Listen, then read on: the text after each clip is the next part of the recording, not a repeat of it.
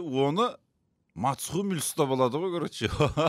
Негізі оны бізге көрсеткен жоқ. Иә оны. Кәдімгі суббота воскресенье сайын чемпиондар лигасын жеңіп жүрген адам сияқты бүйтіп құтты болсын деп жаңағыдай ше бір бүйтіп жүрген біреу жоқ жоқ боруссиядан барлығымыз күттік қой негізі сенсация. Бірақ бұл өмірде футболда чемпиондар лигасы. Псж ның обалы болды негізі бар. Әдемі келе жатыр еді. Өтші мына боруссияны өтші. Өте алмай қалды. Да мен солардан бір челсиді күтіп едім екі мың он бір он екінші жылы. Кросс баяғы олд скул футболының бір соңы сияқты да анандай пастар қазіргі жастарда жоқ қой олар. Қазіргі жастар иә. тактика жатып алғанда жүгіріп атлетичный сондай ғой. Бірақ енді бұл жерде қазақстан футболшыларымен химиясы қандай болады? Өйткені енді ресейде ол мысалға дзюбамен ерегісіп қала ма дениспен ерегісіп қала ма сборныйға алмайды ал мысалы үшін тағыберігімен исламханмен ерегессеңші олардың орнына қай жігіттерді тартасың сол кезде бұл жерде енді коммуникация жағынан черчесовке көп сұрақ өйткені черчесовке де басталып жатыр науқан. Черчесовке біздің құрама керек. Магомед адиевтің ұстазы ғой ол.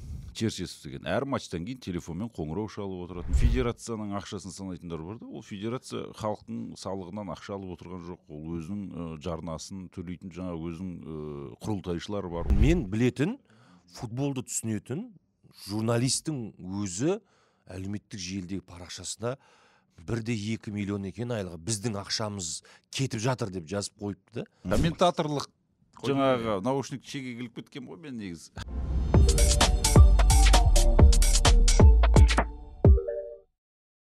Ассалаумағалейкум алаш елі. Кең байтақ қазақ жері түрлі тақырыпты талқыға салатын айтар бар подкастының тұсаукесері дебюті. Бүгін талқыға түсетін тақырып бұл әрине бұқаралық спорт соның ішінде футбол. Алтын уақытын тауып ә, бізге арнайы келіп отырған қонақтарды таныстыруға рұқсат етіңіздер. Ә, маулен белгілі комментатор ә, қойшы тележүргізуші регалийлерін Жақсы. айтпай просто атын айтасыз а болды онда нұрсұлтан құрман. Айтайын ба дастар дарын жастар сыйлығының иегері жиырма- бірінші ғасыр тележүргізуші медиа менеджерді бәрін айтып өтейін. Сосын азамат дебат дебат клубы деп сосын сапа аманбаев. Эльдар аманбаев спорт журналисті тележүргізуші белгілі комментатор. және де өз өзім мен арай ызбай халықаралық қатынастар Э. факультеті бакалавриат бұл ортада қайдан жүргенімді десең. Бүгінгі талқылайтын тақырып бізде әрине спорт бұқалар бұқаралық спорт футбол. Бұқаларды иә. Әдемі кетті. Кешірім осы жерін ал- алу керек міндетті түрде жіберу керек анонсқа десең иә ең әуелі неден бастайық? Чемпиондар лигасы финал. Давай жігіттер міне әсерімен өз көзімен бөлісіңдер көріп қайтқан жігіт. барған қалай болды? Иә мен енді қазақстандағы нөмір бірінші спорт журналисті ретінде жыл сайын барып жүрмін. Биыл тағы да бардым. Уефа биыл маған аккредитацияның түр түрі бар. Ә, екінші сатыдағы сондай категориялы журналист кәдімгі төрт зонаға мүмкіндік берді. Микс зонаға кірдім. Баспасөз мәслихатына кірдім бірінші рет. Карло анчелоттиді тыңдадық. Бірақ ә, бір қызық оқиға болды. Англияда жалпы негізі қалай болса солай екен. Ұйымдастыруға қатты бір бас ауырта бермейді екен негізі. Өздерің барып алып жасап алыңдар дейді. Бірдеңе келіп мынандай бар ма десем ана жерлерден бір бүйтіп бүйтіп аналардан сұрастырып өзің істеп алсай дейді. А, ана ана жасап жатсаң перевод жаңағы итальян тілінде сөйлейді ғой карло анчелотти ше адамды күйдіріп а бізде перевод жоқ енді ағылшынша сөйлегенше күтеміз дейді о в общем қызық сондай сосын ә, еще ананың пресс секретары бар ғой реалдың пресс секретары мәссаған ондайды білмейді екен жүз сексен адам отыр ғой жаңағында ыыы сен сен деп жаңа сұрақ қойған өңкей жаңағы өзінің таныстарына группалас курстастарына испанец пен итальянецтерге сұрақ қойды ағылшындар мына жақта скайлар отыр мына жерде ше ей деп енді келесі сұрақ деген кезде жүз сексен адам қол көтереді ана масқара ғой енді. Бүйтіп тұрады өзі таңдап ала ма? бере салды иә. мына жақ бесполезно сөйтіп жатқан кезде ең соңында өзі түсінді ғой деймін. Айқай шу басталайын деп жатқан өзі кішігірім өзі хайвай болайын деп жатқан. М, бүйтіп тұрды жаңағы скайдың бір журналистіне сұрақ қойды. Сонымен анау ағылшынша сөйлеп о деп адамдар кәдімгі түсініп ана жерде не болып жатқанын сөйтіп ол карло анчелотти ағылшынша сөйлеп жауап беріп сонымен уф! дедік қой әйтеуір. Тағы да бір екі сұрақ қойылды ағылшынша. Жаңағы лунин ә, тұра ма? Куртуа тұра ма? деген. Сөйтсек оны бағана басында қойған екен кеткен оны қай жақтан білейік біз енді уэмблиде өтті ма баспасөз мәслихаты? Жоқ енді дені сау баспасөз иә уэмбли мәслихат несінде өтіп жатыр ғой. Енді мынандай бір наушникпен қойып қояды ғой бүйтіп сен канал таңдайсың да ауыстырасың ғой. Сондай да қоймаған ғой. Анау енді Ағылшындар. ағылшындарға пофиг сосын матч басталған кезде бірінші минутта бір адам жүгіріп шығады ғой. Иә. Иә. Бүйтіп отырды қазір өзінде өзі шығатын шығар деп отыр да. Жүгіріп жүрген полянша бүйтіп ұстатпай ше короче. Анау бір алдын ала беларусь айтқан нені жазып шыққан ба? елу миллион беремін деген. Алпыс миллион ба елу миллион доллар алды деп Содан- евро. е ол мақұл дейді да оны мацхумиль ұстап алады ғой короче. Негізі ше оны бізге көрсеткен жоқ. Иә оны сразу негізі эфирде болды басында? Бізде болған жоқ. Болды болды үлгермей қалады ғой енді. Біздікілер тұрды енді комментаторлар білесің ғой составты қарап жатқанда адамды енді дайындалып істеген кезде ана бір жігіт жүгіріп келді да одан кейін барып фонды алып жоқ содан кейін жаңағы мацхумиль ұстап алады да оны қинап апарып шығарып жібереді ғой. Ойын екінші минут. Сосын үшінші минутта қайтадан тағы біреу жүгіріп шығады ғой ана жерден ше оны көрмедік иә? Ол барады да кішкене адамгершілігі бар адам екен ол ше. Өзі барып ұсталады ғой. Мені ұстаңдаршы деп ше андай стюарттарға олар отыр енді жүгіріп болсын енді деп отыр аналар ше. Бір адам қуып жүр енді бір. Қойсаңшы қойсаңшы деген сияқты ше жаңағыдай бір- ырымын жасап сондай сондай Ә, финалдың өзі негізі түк қызықсыз болды бекер обал не керек ана жерде адамдар риза болған жоқ журналисттер деп ә, ұят болып кетті деп жатыр енді ана адамдарға журналистерге не керек қой енді интрига бірдеңе жазу керек иә иә контент керек контент контент керек жеңгенін күтіп анау реал жеңді түк те болған жоқ е боруссия гол да ұрамады анау әдеттегідей сол елдің бәрі бір болжам айтқан екен ә, бір ойынның жиырмасыншы минуттарында винисиус бір гол ұрады да сонымен анау болды в общем. Бірде нөлмен қайтамыз деп ойлағанбыз. Содан ұзаққа шейін шыдады ну в принципе сол болды ғой енді өзі. Бірде нөл енді ана екінші гол уже. Кәдімгі реалдың уже аяғы жүріп тұрған кезде нафарт кіріп жатты ғой уже. Енді бәрі білді ғой реалдың ұтатынын Иә. боруссияның бірақ ұтуы бұл кәдімгідей ертегі еді. Жоқ енді анау өзі гол ұрамады ғой бірінші Иә. таймда гол ұру керек еді. Ұрамады ма? Болды ғой реал Енді- наказать дейді ғой короче. Әр нәрсенің бір соңы болады ғой. Иә. Бірақ енді боруссия мысалы бірінші таймды қалай ойнайды? Қандай ойнады. сала алмады және алдындағы конференция лига европа лигасындағы нәтижелерге қарап енді андердогтар жеңіп жатты ғой негізінен. Ар жақтан олимпиакос ә, аталанта мысалы. Барлығы байер фиорентина реал деп отырған кезде. Сосын ана реал мадридтің қызметкерлері ыыы жаңағы клубтың қызметкерлері жаңағы басшылық құрам деген сияқты адамдар келді. Атақты адамдарын шақырады ғой енді әр Иә. клуб он шақты адамнан не берген аккредитация. Кәдімгі суббота воскресенье сайын чемпиондар лигасын жеңіп жүрген адам сияқты бүйтіп құтты болсын деп жаңағыдай ше бір бүйтіп жүрген біреу жоқ ана жерде ше? Соны мен де байқадым анау көбісі былай қуанған кезде баяғыда да эмоция жоқ. Карло анчелотти да жай жүр кросс та риза болып қалып артына алаба бір құшақтап андай бір эмоция жоқ та баяғыдағыдай. Сосын жаңағы жоселуды Еске- алып келді ғой неге? пресс-конференцияға ма? Конференцияға алып келді да матч біткеннен кейін. Жосело дегеніміз хосело деп отырмыз ғой. Иә. А, соған айтады ғой жаңағы анчелотти мынаның кесірі осының бәрі дейді. Да. мынау болмағанда вообще уже қазір мен отпускта жататын едім деп айтады. Манчестер ситимен не- бенефисі ғой. Жоқ негізі карл анчелоти мықты бапкер екенін тағы дәлелдеді ғой. Кімді? Куртуаны қойып. Лунин болғанда бірінші тайм мүмкін бір нөл екі нөл есебімен аяқталушы ма еді деген штангыны е куртуа өте жақсы тұрды негізі mvp ғой. Бірақ жаңағы сол ғой соңғы жылдары екі нөл бір нөл қызықсыз финалдар ғой.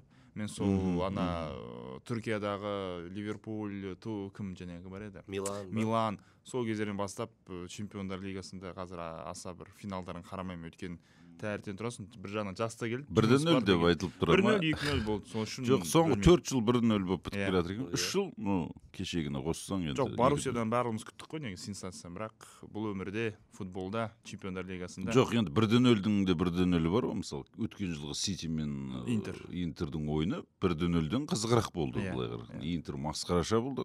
Мен енді стадионнан жаңағы воротаның артынан көріп отырмын да енді былай неге де көтеріліп көрдім? Өткен жылғы финал масқара қызық болған стамбулда. Жалпы стамбулдағы финалдар қызық деші айтпа бір аурасы бар ше шығар түркияның жанкүйерлері деген енді действительно футбол көргісі келеді. Қызуғанды еще күн ыстық болды. Кәдімгі ыстықта бәрі шөлін қандырды кірді Иә, стадионға шоу болды. И ана кеше лондонға төрт күн жаттым. Бір күн шықпай кетті ғой бейшара сұрқылтай екен тұманды альбион деген сол ғой енді жаңбыр жауа салады тұрады да құя салады екен сосын жаңағы суықтау адамдар да са- салқындау деген сияқты ғой содан ойында ашылып көшеде ажиотаж болды ма стамбулдағыдай қатты иә болған болған жоқ. иә сол бостау болды қарасаң соңғы жылдары англияға береді ғой чемпионат европа болсын чемпиондар лигасы енді қарасаң уэмблиге тойынға ғой футболға сегізінші рет финал болып сол отыр ғой басқа жері жоқ сияқты. Сол осы жерде енді финал деген бағана ермаштың сөзі шынымен ойландырып тастады. Мысалы ағылшындар деп жатыр да. Енді олар уефада сөзі ол өтетін ел ғой. Олардың қас қабағына қарап отыр да сол. Испания англия ренжіп қалса болды деген сияқты.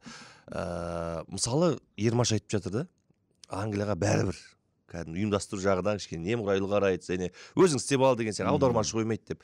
Солар біздің үшінші біз сияқты қазақстан сияқты елдерге келсе мә сұмдық талаптар қойылады ғой. Баяғыда білесің ба ақтөбеге келіп еді ғой англия. М. дастархан шөп шалаң дастарханда не тұру керек пресс конференция қалай өту керек. Ақтөбе мен англия ойнады молодежный. Қазақстан іріктеу кезеңінде. Қазақстан андер жиырма бір десе иә иә сол.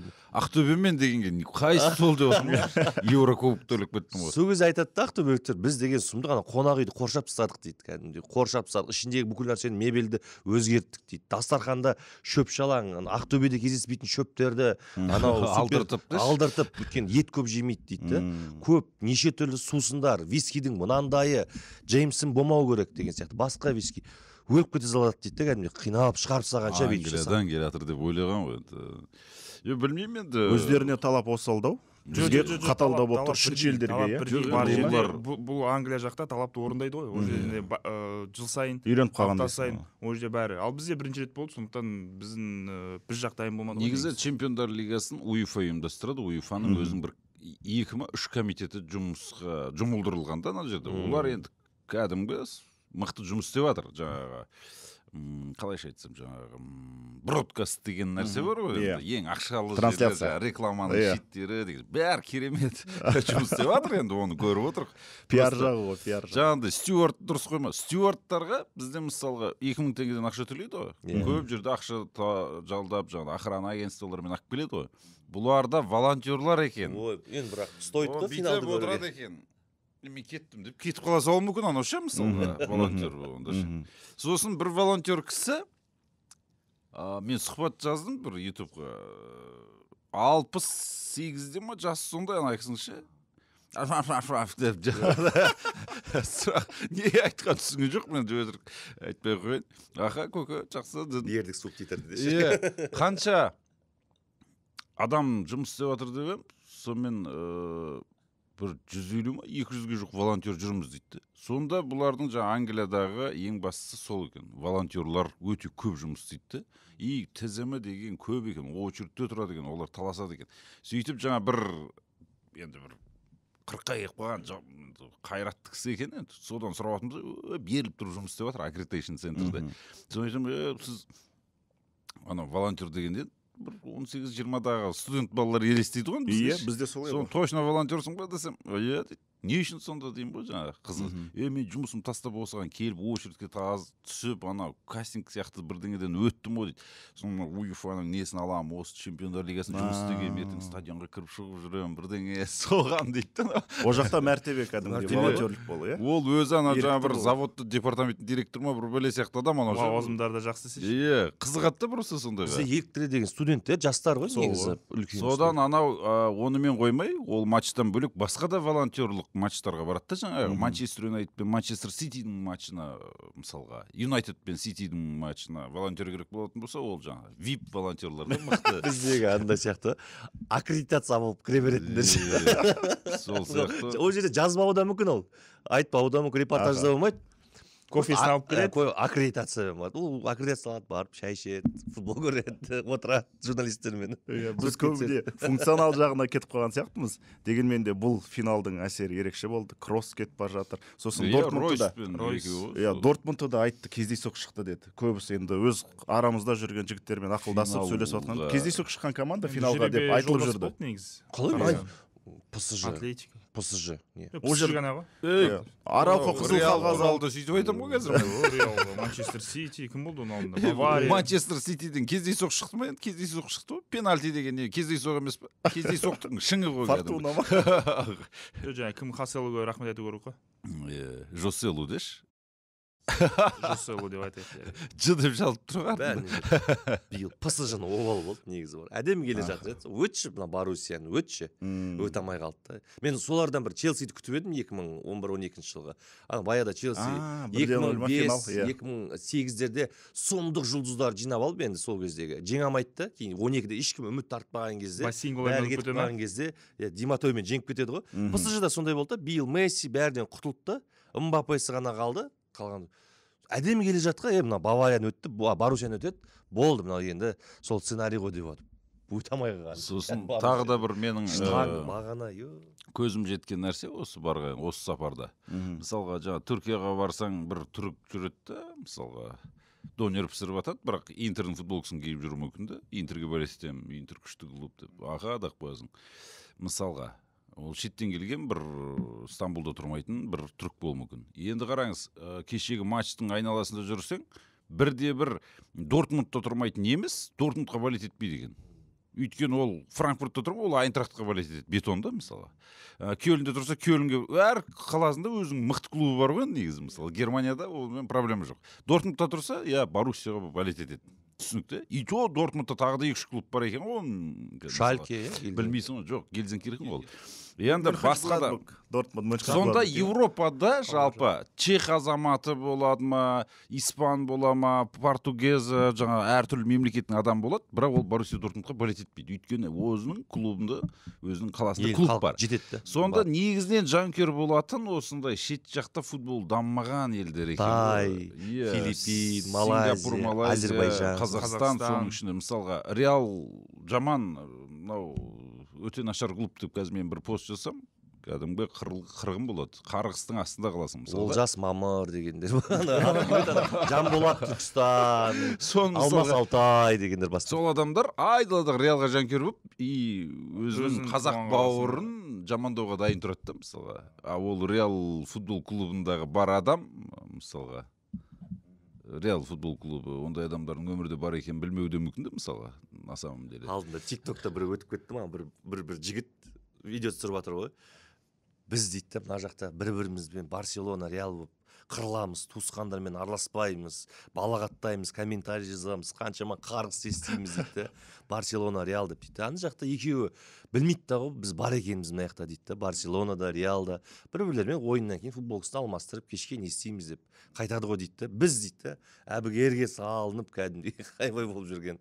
Негізі бағанағы позиция дұрыс. Әркім қай қаладан сол клубқа жанкүйер болса өте керемет болады. Енді бұл біздің олардың мынау маркетингі азия елдеріне сосын үшінші елдерге қатты өтіп кеткен ғой. Мысалы айдалада содан ауғанстанда кейін ғой жаңағы ыыы, бір осы премьер лигаға шыққан ипсвич деген жаңағы ипсвич таун ба? Иә ирактың футболистін алған ғой мысалға. Мұхаммед хасан абдул мажид деген мысалға да примерно сондай аты. Ирактан футболист ала ма мысалға аплдың клубы деген сияқты ғой. Бундеслигада әрбір бір клубта кәріс бар ғой. Бір кореец бір жапон ыыы деген сияқты ғой. бір таиланд қазір енді таиландтан да бір екі үш игрок бар мысалға. Сондай сондайларды алатын болған. И жаңағыдай ирактың футбол футболистін алсаң шамамен жүз мың подписчик енді келіп тұр уже. Активность. арабша комментарий жазады активность деген ұрып тұр дейді. Ең Ол белсенді қазақтар шығар бірақ. бір қызығы ол жаңағы ирактың футболисті үшінші дивизионда уикомпта ойнаған екен. Уикомптан ипсвичке ауысып кетіп отыр. Уикомп деген өзіміздің қазақтың клубы ғой сол жақта. Ақтау иә үй көп деген сөзден шыққан дей ма маңғыстау енді аңыз адам кросс мансабын аяқтап жатыр футбол көп нәрсе жоғалта ма елдар жоқ ы, кросста Замени мықты бывает. и кросстағыдай футболшылар қазір көп қой. Тіпті енді өзінің шарықтау шегінде жетті ғой. Чемпиондар лигасын ұтты қазір ыыы өкінішке орай бірақ илкай гүлнагай болыпты. Капитанмен кросс болады деп ойлап жүрсем бұл жерде нагельсман басқа таңдау жасапты. Түріктің азаматтары дән риза өйткені неміс ә, және командасында құрама командасында түрік азаматы капитан екен. Ә, кросс ә, чемпион ә, болса европада болды. Келесі жылы келесі жылы алтын допты алуға бірден бір үміткер деп ойлаймын. Егер германия жаңағы европа чемпионатын ұтса. Алты дүркін чемпиондар лигасын ұтып алған ойыншы кросс. Иә? иә? иә. барселона тарихында бес рет ұтты. Иә. Керемет IQ өте жоғары. Футболшы жаңағы бавариямен де сырт алаңда винисиусқа керемет пас жасаған угловойды жасап берген. сол себепті. Сол себепті кросс мықты бірақ енді білмеймін. Месси мен роналду кеткен кезде сондай бір эффект болмайтын шығар кросс кеткеннен кейін кросстың өзін сыйлайтын адам екен ол отыз төрт жаста. Жоқ андай жалғастыруға болар еді қосалқы құрамда отырғанша анда санда шығып тұрғанша осындай шарықта әдемі кезеңде иә иә. кеткені дұрыс деді да шаршап кеткен шығар жоқ ол футболдан ол қазір енді кетсе уже анандай жаққа кету керек болып қалады ғой сауд Арабиясына. арабиясына анау мынау қойшы деді. Одан кейін ол жақта оны немістерден- күтіп отқан жоқ қой сауд арабиясында жек көреді ғой. Неменеге? бір ретте бір мәлімдеме жасап бір сұмдық болып еді ғой. А типа бармаймын ол жаққа деп па? Иә, бір- ондай ақшаға қанша предлагать иә сондай содан кейін жек ысқырып еді ғой реалмен бір ойнаған кезде. Сауд арабиясында финал кен өткен араб әмірліктеріне барасың жоқ ә, испанияда бір жас талант болды ғой. Жиырма бір жаста бір клубта жарқ ете түсті да иә арабия ақшаға арабия кетіп қалды. Сол күні айтты ғой сен жастар қалайсыңдар? Сен ойнап жүрсіңдер жоғары деңгейде ақша не керек деген секілді. Маған қанша берсе де мен ол жаққа бармаймын дегеннен кейін ренжіп қалды кросс баяғы олд скул футболының бір соңы сияқты да. Анандай пастар қазіргі жастарда жоқ қой олар. Қазіргі жастар иә тактика жатып алғанда жүгіріп атлетичный сондай ғой салып иә чуамени камавинга тура сол ғой әдемі пастар жоқ та бүйтіп мимен әдемі берілген кешегі ана винисиусқа берілген пастар иә мхм. енді сұмдық қой ол сондай пастар орны бөлек қой зидан осы тонилар істейтін пастар ғой вальвердеға берді ғой аманат қылып кросс. Ройсты да мәселен мансабын аяқтады деп жатырмыз бірақ ақш кетіп бара жатыр ғой лос анджелес галакси қателеспесем енді карьерасын аяқтаумен бірдей болды еврода ойнайды ғой кросс Иә, сол үшін ойнайды. соны ойнап шақырды ғой. бітіремін деп отыр ғой Иә. енді. өз елінде туған ойнағанда енді қайбір ойнап жетістіреді дейсің ғой. Германия құрамасы фаворит емес өз алаңда болғанымен әйтеуір ары бері тартқанымен максимум бір де сегіз бір де төрт қой. Кім фаворит деп ойлайсың еврода франция конечно. Евроны міндетті түрде қазір талқылаймыз. Қазіргі келесі сұрақ бізде ыыы, қазақстан ұлттық құрамасының жаңа бапкері станислав черчесов. Пікір керек. Федерация айтсын жоқ федерация бағадан білеміз Елдар Насыр- пікірі түсінікті деп қойса елдардан сұрап жатырмын ол қолдайды ғой жүз пайыз деп тұр ғой бастайық ел өзінен білмеймін черчесов енді келді алпыс жаста магомед адиев бар жоқ қырық алты жаста еді анчелотилер де жүр ғой басқа бапкерлер жүр ғой бірінші ойындар өтсін енді черчесов қолдайтын бар қолдамайтын бар бірінші іспен дәлелдесін одан кейін барып ә, топшылайық нәтижесін шығарайық мен ә, черчесовты бұрыннан білемін. Өйткені ресей премьер лигасын енді кішкентай же- кезден қарап жүрік. Спартак ә, жаңағы терек амкар динамо москва. Өзінің айтатын сөзі бар өзінің диктатурасын ә, диктатурасы бар. Ешкімді мойындамайды. Бірақ енді бұл жерде қазақстан футболшыларымен химиясы қандай болады? Өйткені енді ресейде ол мысалға дзюбамен ерегісіп қала ма дениспен ерегісіп қала ма сборныйға алмайды. Ал мысалы үшін тағберgenмен исламханмен ерегессеңші олардың орнына қай жігіттер тартасың? Сол кезде бұл жерде енді коммуникация жағынан черчесовке көп сұрақ. Өйткені иә мықты бапкер шығар. Там, польша чемпионаты венгрияны ұтып алды ә, ресейде екінші болды. Ресеймен керемет ә, жетістікке жетті ә, өзінің ресейдегі бо- болған әлем чемпионатында. Жақсы бапкер. Енді ақшасы білмеймін федерация кеше айтты ғой өтірік жалған оған сенбеңіздер деп. Біреудің ақшасын енді ондай ақша берсе онда значит стоит деген сөз. Қазақстан ұлттық құрамасына лайықты ма? Жоқ. Ол ы, бізге лайықты ма? Қалай? Кім кімге лайықты? Ертең ойындарын көру керек циклдарда қалай болады қандай стиль тактика таңдайды өзін қалай ұстайды ойыншылармен қандай коммуникация құрады елдар айтпақшы. Енді қазір ә, бұл баяғыда адиев келген кезде адиев кім деген кім ол деп? кім? А, Иә. мынау черчесовке де ден де Мгм. ә, қатты критика болған ол кезде. Футбол туралы қақпайтындар да адиевті сынай бастады ғой кәдімгі. Охват жинау үшін. Ә, мынау енді черчесовке де басталып жатыр науқан жан жақтан. Ә, біздің арамыздағы әріптестеріміз де бар. Сондай ақ өнер ұжымдары өнер жұлдыздары. неше түрлі адамдар бар екен ғой. Футбол жайлы сөйлегісі келеді. Түсінетін десейші. Иә, түсінбейтіндер де бар қаншама иә. Білмейтіндер де. Әйтеуір айтшы мынаны дегесін айтып отқандар да бар. Сондықтан мен әзірге менің ә, жалпы позиция позициям ойындарды көруіміз керек ертең Иә, қалай иә. болады? Өйткені баяғыда адиевке қарсы қаншама біздің ә, әріптестеріміз жамандады жамандады да ә, соңында пікірін өзгертіп бірге шыға жүрді ғой келді. пресс-конференцияда кетпеңізші деп па? Иә кетпеңізші деп пост салып ешқандай жылап сондай сондай болды. Сондықтан э, екі үш күн алдын бірден ә, нәтиже э, шығаруға немесе пост жазуға шешім шығара негізі сенің сұрағыңа одан ареке мен жауап берейін. Ыыы черчесовке біздің құрама керек. Өйткені соңғы бір жарым жыл бойы ресей премьер лигасынан ұсыныс түспеді. Ол негізі ана жаңағы қай жерден кетті? Ференцвароштан кетті ғой деймін иә Ә, бір жыл ұсыныс келмеді. Және енді қазақстан ұлттық құрамасы деген енді международный матчтар ғой. Бұл жерде сен норвегиямен ойнайсың австриямен ойнайсың европада сені таниды. Сол себепті черчесов белгілі бір мотивациямен келетіні анық. Бұл жерде енді ә, бір жағынан ә, қарап отырсаң енді кержаков келді жақында қайрат командасына. Енді боранбаев футболды өте жақсы түсінеді ғой. Ол бостан босқа және кержаков қоймайды. Сол себепті бұл жерде енді черчесовті тілді ә, қазақ тілін білетін маман переводчик аудармашы керек жоқ коммуникация болады клубта жоқ қазақстанда тұрады деген секілді мәселелер. Сол себепті енді ертеңгі күні ұлттар лигасында да ә, қалып қалса қазақстан алты матчтың алтауын. Черчесовке білмеймін енді чемпион ә, жаңағы әлем чемпионатының іріктеу ойындары бар ғой. Жаңағы екі плюс екі деген қойылды ғой бекерден бекер емес. Егер бір нашар бір бапкер болғанда бір жылға қарай тұру керек секілді мүмкіндік беру керек еді.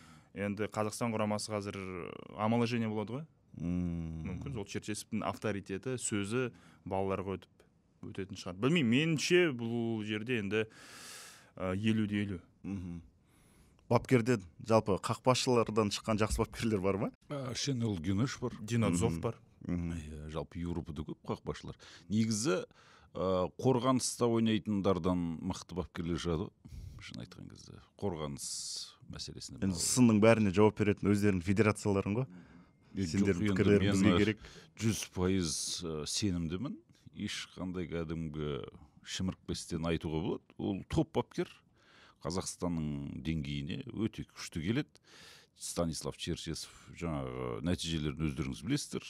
Оның жанында мысалға магомед мұсаұлы әдиев керемет жұмыс істеді енді әңгімесі жоқ бірақ ол кісі жетпеген ондай нәтижеге мысалы одан кейін біріншіден магомед әдиевтің ұстазы ғой ол. Черчесов деген. Әр матчтан кейін телефонмен қоңырау шалып отыратын словакиямен матчтан кейін звондады білесіздер. Оны пресс конференцияда бір екі рет байқамай айтып қалды әдиев станислав черчесовпен сөйлесіп тұрамын осындай осындай қазақстан ұлттық құрамасының бүкіл ойыншысын қазір ол жатқа біледі. Черчесов онсыз да қазір келе жатып біліп келе жатыр. Ә, әлем чемпионатының ширек финалында ойнаған ә, чемпиондар лигасының топтық кезеңінде ойнаған халықаралық дәрежеде енді жетістігі деген масқара көп. Ә, лиганы чемпион қылған ференц пен золотой дубль требл жасап тастаған адам ғой ә, чемпионат аяқталуға жеті тур қалған кезде чемпион қылып тастаған сондай адам. Қазақстанның ұлттық құрамасының бапкерлігіне келіскеніне мен риза болып отырмын жалпы. Жоқ бұл жерде андай сұрақ меніңше біздің ыыы халық жалпы ресей елінен неге бапкерді аласыздар деген кішкене вот мына бапкерлердің болсын ішінде, поляк болсын Э, меніңше черчесов қой халықаралық дәрежеде деп Международный несі бар ғой, дейді ғой енді. Ол ана ресейдің ішінен шықпай жүрген бапкер емес қой мысалы спартак пен динамоның ортасында жүрген. Иә. бұл черчесов европа футболын білетін венгрия мен польша как раз біздің деңгей ғой өзі сол біздің менталитетке сай дейсің Иә. ғой. сондықтан ол өте тамаша. Екіншіден ә, қазір онда ұлттық құрамаға ә, мықты бапкер табу да өте қиын. Ұлттық құрамамен жұмыс істеуге көп адам келіспейді мысалға португалия ұлттық құрамасы мауриньоға ұсыныс жіберген контракт жіберген бірақ келісім бермей қойды. Өзі португал болса да мауриньо. Ұлттық құрама деген қызық емес оларға. Он күн фенербахчені таңдады. он матч. Иә Иә. жүресің бір жылда болды. Түк те қызық емес адреналин жоқ драйв жоқ дегендей. Олар да футболмен ауырып қалған адамдар ғой. Сондықтан ә, үлкен ірі қаржыға қазір бапкер шақыруға шама жоқ. Мысалға бір ұлттық құрамаға мықты бапкер деген ол төрт бес миллион евросыз келмейтін адамдар ғой. Одан кейін біздің қоғамда біздің менталитетте қай жерге барсаң да ананың ақшасы мынанша мынаның ақшасы мынанша деген нәрсе тұрады. Да ол мәселе ақшада емес ол ақша бар ол кетеді келеді. Керісінше футболға ақшаны көбірек салу керек. Біздікі салыстырмалы түрде аз ғой құраманың жаңағы федерацияның ақшасын санайтындар бар да. Ол федерация халықтың салығынан ақша алып отырған жоқ. Ол өзінің жарнасын төлейтін жаңағы өзінің құрылтайшылары бар. Уефа фифа дейміз иә демеушілері бар. Иә. сонымен күн көріп отырған федерацияның ол бапкерге қанша бергендігін не қыламыз оны санап? Және бір миллион екі жүз деген ол жалған ақпарат. Иә одан әлдеқайда төмен бір миллион бір жүз дейді ғой. Мен жалпы айтайын дегенім ә, шын ол ақша санауға келген кезде біздің халық соған жаман үйреніп алды. Және бірақ ә, миллион деген сумманы естісе әңгіме басталады осында. Ажиотаж сағатына дейін зарплата Э, санап қойды ғой. мен мен білетін футболды түсінетін журналистің өзі әлеуметтік желідегі парақшасында бір де екі миллион екен айлығы біздің ақшамыз кетіп жатыр деп жазып қойыпты да. Кім айтсайшы? Еркін подкаст. Көп қой мен таң қалдым мен. Егер де қарапайым ауылдағы көрермен емес осы астанада өмір сүріп кәдімгі журналистикада жүрген адамның солай жазып қойғанына қарағанда онда бізге шын мәнінде біраз нәрсеге өзгеріс керек санада ойда миде білімде. Қатты мен қатты күліп кеттім кәдімгідей ананы көріп. Егер сондай журналист сөйтіп жазып жатса онда басқа не болды деген сияқты. Сондықтан ыыы және ол бағана айтпақшы ол сенің ақшаңнан емес қой ол кәдімгі уефа фифаның ақшасы бар басқа да демеушілер бар. Бізде білесіздер демеушілер. Иә. Қандай демеушілер бар? Бортты оқысаңыздар оқисыздар. Жоқ ы, негізі қанша футбол қай жерде болмасын ы, оны негізі жанкүйерлер бірінші кезекте черчесов дұрыс бапкер ма дұрыс емес па соған бас ауырту керек қой оның Иә. қандай футбол ойнайды деген секілді. Оған Иә. ы, мысалға ы, бір бизнесмен өзінің қалтасынан төлеп жатқан шығар қазір. Кім біледі мысалы да какая разница саған? Сен ұлттық құрамаға жанкүйерсің ғой сен соған болеть ет. Сен ішкі саясатына араласпа сен жанкүйерсің жай мысалға да. Сенің мақсатың М, иә, сенің задачаң футболға болеть ету қолдау стадионға келу иә сол болды. Соған болеть ет. Егер ұнамай баратса барып аралас тірлікке мысалы да о мынаны кетіру керек осыншама ақшаға неге шақырдыңдар? Нәтижесін көріп ал бірінші үш ойын ұтылсын ресми матчтарда жеңілсін содан кейін барып әңгіме айтуға болады. Баяғыда магомед мұсаевич адиев бапкер болған кезде де елдер неше түрлі әңгіме айтқан. Кім ол деп шықты ғой бірақ төрт ойынның үшеуін жеңген кезде қоя салды ғой мысалы он ойыннан даланың ерлері болды ғой дұрыс тасып жатыр қиылық қыстау қиын заманда деп баяғы қазір енді жолдас кездесулер болады ғой. Екі командамен танысады қарайды кімнің қандай жағдайы бар екен кім қалай ойнайды екен. Одан кейін барып күзде көреміз. Норвегияға қарсы бірінші ойын ғой да жаңылмасам Иә. Сол кезде енді қарауға болады. Қандай футбол ойнайды екен бұл черчесовтың командасы? Енді ресейді бапкерлік етті ғой. Жақсы ойнады. Әлем чемпионатында жақсы ойнады жақсы ойын иә мүмкін біреу айтады сауд арабия египет деген командалар бар оларды ұтуға болады деген. Бірақ енді ресей командасы жақсы ойнады. Черчесовті көрдік жақсы ойыншылар тапты. Өзі айтып тұр ғой андай айтса болды соны орындау керек.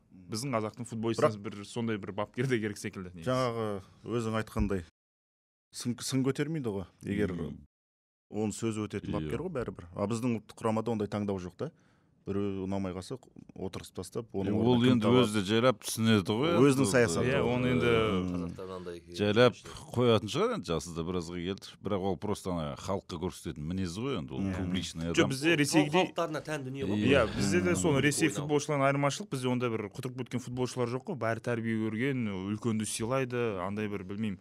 Ыыы черный пиарға жақын футболшылар бәрі жоқ. Бәрі профессионал біздің жігіттер мықты. Сол себепті олар футбол жаңағы бапкердің талабын орындаса бапкер ыыы, жаңағы жігіттердің өзінің тренировкадағы ойындағы құлшынысын көрсе болды. Химия орнаса адиевпен секілді. Жақсы. Қазіргі басты мақсат м, сол адиев ы, салып кеткен бір результаттар бар ғой. Соларды түсірмеу. Сол деңгейде қалу немесе өсу. Ал бізде өкінішке орай былай қарасаң черчеш болмаса да қазақстаннан бір бапкерді алып келші. Кім? Алиев карпович дейді бәрі мысалға олар дайын емес меніңше әрине Нұрдәулетов ішінде нұрдәулетов бар дейді жоқ қазақстанның ішінде кез келген адамды қоя салуға болады бапкер қылып ойрат он тоғыз мың бапкер бар ғой бізде он иә? тоғыз миллион. Просто нәтиже болмайды да ештеңеге жетпейміз.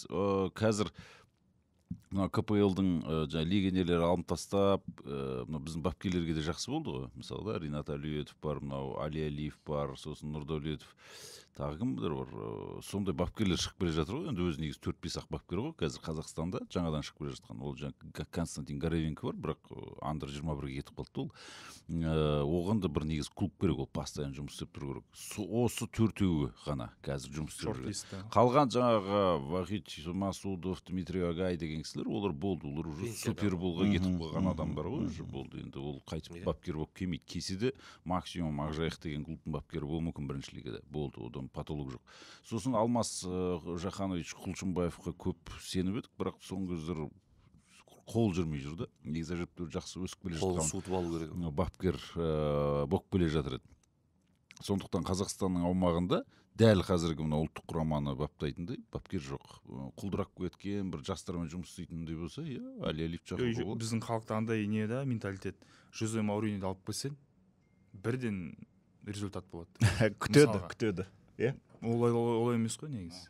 Өйткені бапкер де футболшыларға қарайды сол себепті біздің енді кухняны түсінетін ә, біздің жалпы менталитет түсінетін жақсы бапкер енді ақшасын айтпай ақ қояйық өйткені ол біздің шаруа емес.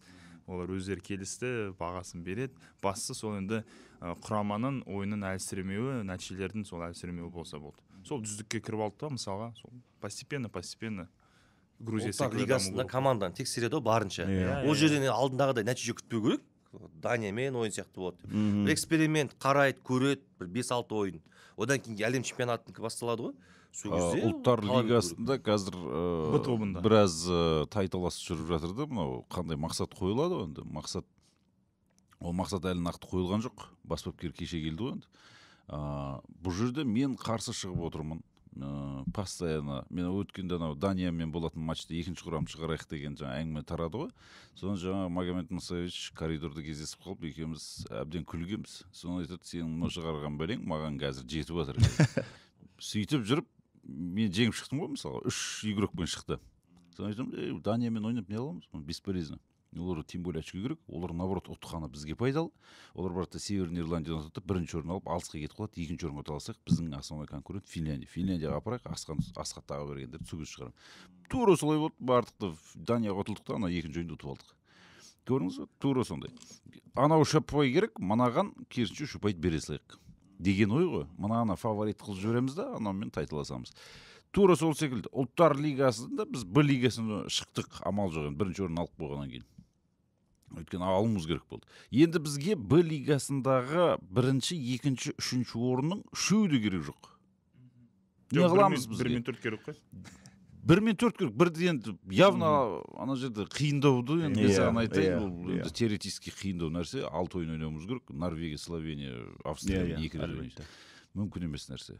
Ана жерде холландтар эдегорлар жүрген кезде ол норвегия бесполезно содан ұлттар лигасынан бізге төртінші орын алу керек. Аха. Егер мен ұлттық құрамалар департаментінің директоры болсам мен осындай тақырып та- тапсырма беретін едім. Төртінші орын алсақ бізге сол пайдалы.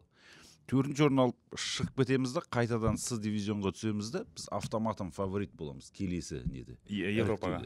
Ол жерде жаңа қайтадан ыыы андорра сан марино беларусь жаңағы бірдеңке шірдеңкелер осы осы аймақта жатқандармен ойнаймыз да? Бірінші орын аламыз қайтадан группадан. Сөйтіп стыковойда ойнаймыз грузиямен. Ну грузия сияқты бір условно бір командамен. Сонда бізде мүмкіндік пайда болады.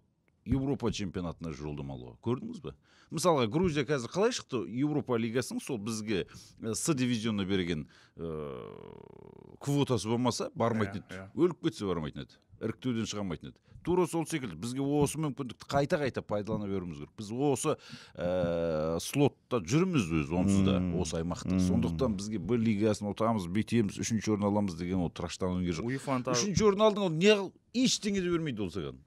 Рейтинговый очко ғана береді болды.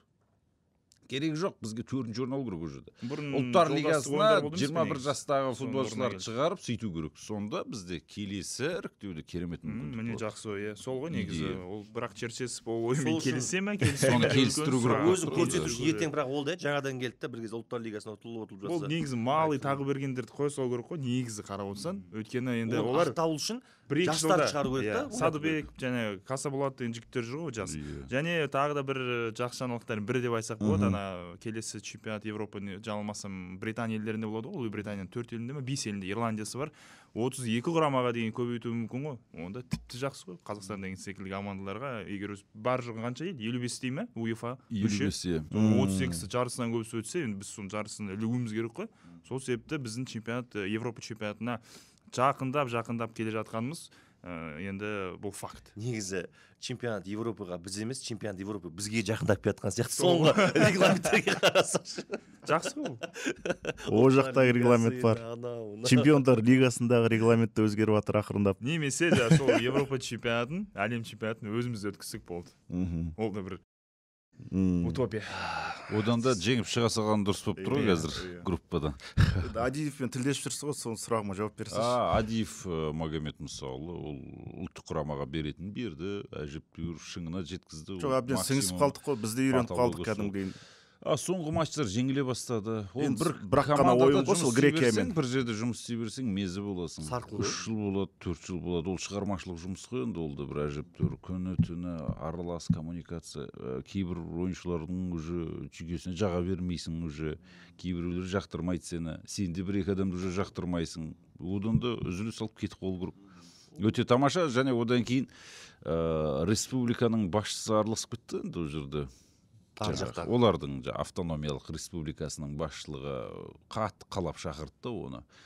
Ә, дон ә, ассалаумағалейкум сол үшін отбасылық жағдайларына байланысты. Ресми шықты дейсің отбасылық деген кім жазып жүр өзі жазып қойыпты жоқ шықты ғой парақшадан шықты ғой отбасылық жағдайға байланысты Кім? шешім қабылдадым деп. Федерацияның Ә, сол соны енді айтып отырмын да ол деген ресми жаңалық қой енді қайдағы отбасы енді вообще жоқ қой ол жерде отбасы деген. отбасын ойлап тұр ғой дұрыс қой.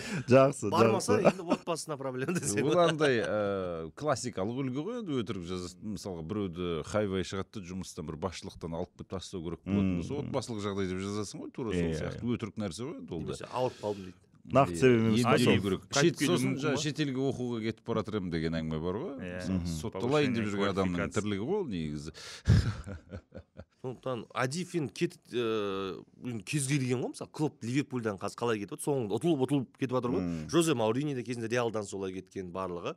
Сондықтан оқылады біледі. Ғой. қалай қарсы ойнау керек екенін мысалы? Мен негізі ойлаймын сол магомед мұсаевич ол қайтып келеді түбі екі үш жылдан кейін өйткені жазып өзі сондай көңілшек адам да жаңағыдай қазақстан маған ұнайды мен отаным мен қимай кетіп бара жатырмын бірдеңе бірдеңе деп сондай бар өзі. Сосын звондап тұрады күніге хабарласады байланысады жұмыстағылармен де ә, менің ойымша енді сол ана бір жағынан амал жоқ барып жатыр қазір. Одан кейін оған рплде мотивация керемет.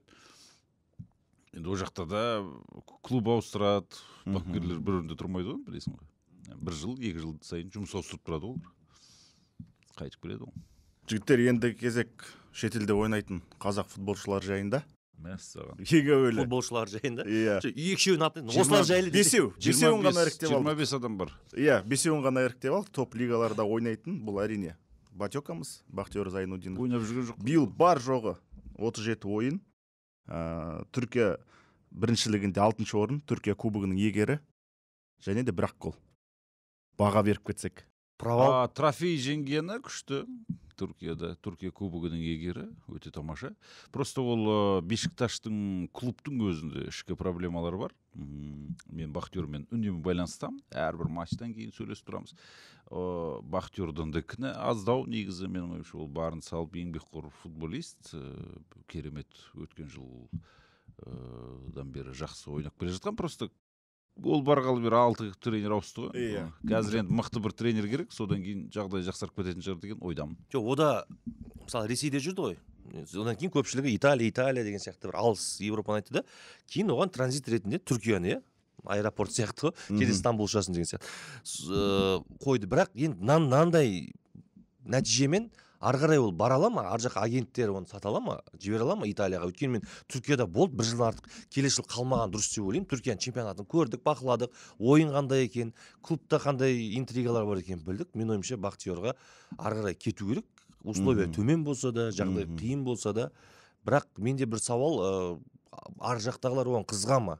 Ал бірақ бер жақтағылар біздің көршілер күтіп отыр оны. Мм. бір екі клуб қатты күтіп отыр. Ресей қазақстан иә. Бесіктен жоқ дейді ол клуб нұрс. Сол білмеймін бесіктен емес ол астыңғы жақта ғой. үшін провальный сезон деп ойлаймын. Кубокты жеңді жарайды енді. Бірақ бақтияр үшін өте провальный сезон. Былтырмен салыстырған кезде. Ал ыыы, кімге? Ол келесі абат па? Иә. Оған да провальный. Бірақ абат қазақстанда жүр екен кеше. Аха. Ұшып келіп ыыы, қазақстанға енді келмеймін дейді. Ішкі чемпионат ойнауға неге десек өйткені доктор оған айтыпты сен жасанды төсеніште саған көп ойнауға болмайды тек табиғи газонда ойнау керексің деген сияқты. Және түркия ұнайды керемет көгілмен шықты. Ыыы мен ұзағынан сол жақта қалуға тырысамын және қазақстанға келмейтін шығармын деді футбол ойнауға. Бірақ адана демирспордың басшылығы риза емес. Абатқа өйткені бір екі матчта болды ғой. Қосалқы құрамда балотелли болмаған кезде қызыл қағаз алып қойған кезде абатты тіпті сол ойындарға шығармады. Абатты бір явный аутсайдер болады ғой соңғы орындар командалар қарсыда шығармады. Соңғы бес алты минутқа басманов деші? Иә бұл жерде енді басшылықтың айтуы бойынша абаттың кәдімгі скиллдары келмейді әлсіз Мгм. демирспор келмейді. Абат қалса жаңағы сол түрік чемпионатындағы бір әлсіз командалар бар ғой енді. Иә. Қайсар шахтер секілді. Адана да сол деңгейге түсіп кетті ғой. Ойнап жүрген командасы да әлсіз командасының жоқ бірі негізі ғой. Иә. тарихи жағынан қарасақ енді биылғы дәншілер жаман бірақ келесі жылға абат қалмайды. Енді бекер обалы не керек? Айтып кетейік абат айымбетов бар жоқ тоғыз ақ ойын өткізді. Сол тоғыз ойынның ішінде бір гол соқты. Бірақ командасы 12 орында. Адана демирспор 12 орында. Келесі жігіт бұл нұралы әліп. Әрине ресей кубогы финал гол. Ресей чемпионы 37 ойын бір гол. Ы, маусымның біраз соңында ы, зенит жанкүйерлердің хейтіне іліккен ойынша не үшін керек мынаны деген сияқты. Екі үш рет гол алып келді қолына тиіп ереже бұзып одан кейін бірақ кеше әйтеуір гол соғып өз өзін ақтап алды. Бірақ екі түрлі пікір ғой біреулер енді боранбаев пен зениттің байланысын білесіздер қандай екенін. Сол боранбаев үшін әйтеуір шақырды еңбегі ақталсын жұмысы дөңгелене берсін біздің де қолдауымыз болсын. Өйткені олар да бізге ойыншыларын жіберіп отырды ғой кезінде деген сияқты. Мм. бартер сияқты болып жүрді да. Енді әйтпесе ресейде әліп сияқты қорғаушы жоқ па не деген сияқты сербияда қорғаушы жоқ па деген сияқты пікірлер айтылады. Бірақ енді әліптің біз үшін қазақстандық жанкүйер үшін ә, зенитте биыл ойнап требл жасауы ә, және оның иә. қаржылай жағдайы жақсы болуы қазақстанда ақтаудағы нелерін естіп жатырмыз ғой? Жасап жатқан дүниелерін ә, өте керемет тоқтамасын дегіміз келеді. Бірақ зениттің чемпиондар лигасында ойнамайтындығы европада ойнамайтындығы бір қатты аса бір толыққан жүз пайыз қуана алмайсың да келесі жылы нұралы әліпті чемпиондар лигасында көрмейсің. Менің ойымша нұралы әліпке де басқа клубқа кету керек сияқты. Ақырындап еуропаға қарай ойысу керек әрине. иә. Манчестер юнайтед деймін. Ба манчестер емес Жо- жо- кеше тағы да пайда болыпты ғой сондай манчестердің суретімен ше. Бек бек ай. Рахмет саған. Артур келесі жігіт. Хапуэль. екі гол. Иә жалмасам иә екі гол шықты. 16 ойын. Және де үшінші орын енді біріншілікте қорғаушы жартылай қорғаушы үшін жақсы статистика. Бірақ енді шабуыл үшін он алты ойында екі гол деген нашарлау. Бірақ енді артур молодец жігіт қой. Ешқандай хейтке қарамастан шетелге кетті. Жақсы ойнап жатыр. Білмеймін бірақ енді израиль чемпионаты сондай бір топовый чемпионат емес қой негізі. Иә клубы жақсы ойыны ала құла болса да артур Шу- шучиначев енді м, адиев шақырған жоқ қой оны. Енді араларында өз не диалог түсініспеушіліктер бар. диалог орын алмады да дұрысталмады да енді қазір черчесовтың әрине бұл тізімінде болады. Сондықтан артурға тіпті қазақстанға қайтып келсе де білмеймін израильде ойнағанша сол қазақстан чемпионатындағы қайраттарда доп теуіп сол мысалға сол астана ордабасы деген клубтарға да керек шабуылшы ғой. Білмеймін израильде бұл астанаға керек еді бұл қазіргі рамазан кәрімов жүр. Не істемейді тұрақсыз сондықтан астана алса және артур келіп осында өзінің ыыы мықты ойын дәлелдесе меніңше жақсы. Ал былай енді 16 ойында екі гол деген статистика жаман емес жаман емес. нашар. Нашар ма? Жаман емес сияқты ғой екі гол. Жоқ Бірақ ең бастысы- үшін 16 деген екі гол деген 16 ойын аз ғой. Аз өте қызық трансфер болды. Сол қайраттағы анау израильдік ойыншы ғой енді иә. ұсынып ары қарай шақырып алып кеткен израильге. Әйтпесе кім барады израильге? Қазіргі жағдайды білесіздер геосаяси. Бірақ әйтеуір ойнап тәжірибе жинап өзін көрсеткісі келді. Ана жоа паулоның көлеңкесіне қалып кетпейін сантана келді мысалы. Бұл енді біраз отыруға тура келді да. Құрамаға алынбай кетті ұлттық құрамаға алынбай кетті. Өзінің ішкі мінезі бар ғой эгосы иә, бар. эгосы бар эгосы бар. Биыл бірақ сыртта жүргендердің бәрі үшін бір аса қатты не болған жоқ әліптен басқасының бәрі. Иә артурға қазақстан келмеген дұрыс деп ойлаймын. Э, бірақ енді анау ертең еврокубоктар алдында келсе дұрыс қосылып сол кезде ойнап ары қарай тағы өзін көрсетіп сол жерде бір жаққа бару керек қой негізі әйтпесе. Білмеймін. Шушиначев туралы да айтып жатырмын сен жерлесің туралы. Артур израильде жүр екен да. Күшті. Тамаша красавчик. Келесі жігіт бұл жуков қой өзіміздің. Қытай чемпионатында ойнап жүрген. Өзіміздің жігіт? Қытайда? Былтыр 12 орын былтыр және биыл 35 ойын жалпы салынаған кезде неге гол. қайқында болған ол енді топ лигаларда ойнап жүрген жігіттер құрамасына енді бұдан былай ойнамайды менің ойымша ол скорее всего. Дайынмын деді ғой. Дайынмын дейді келмейді ғой шақырса бірақ өтірік айта береді ол шулатып халықты ана меркель екеуі. Адамдар жаңағы инстаграмда жазады да я хочу играть за сборную просто қазақстан футбол сборной шақырмайды мен анау дейді паспорттары жоқ оны қалай шақырасың? А өздері өздерінің паспортынан бас тартпайды. Ұятсыз кәдімгі екеуі бас тартпаған ба ана паспортынан? Қалай бас тартады паспорты бар ма? бір ақ паспорт қой германияның азаматы ғой жоқ Жоқ, Меркель. меркельді айтып жатырмын жуковта қазақстанның паспорты бар иә. Бәсе. Сонымен жүр ғой. Кезінде отказ берген ғой енді ол да.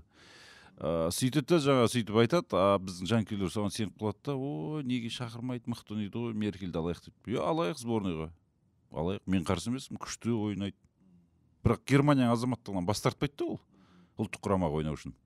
Оған липовый жаңағыдай екінші паспорт былай өтірік жасап беріңдер. Еще әр ойнаған матчыма он екі мың он бес мың евро ғой енді он бес мың комиссиясымен он екі мың евро болып сондай сұрайды.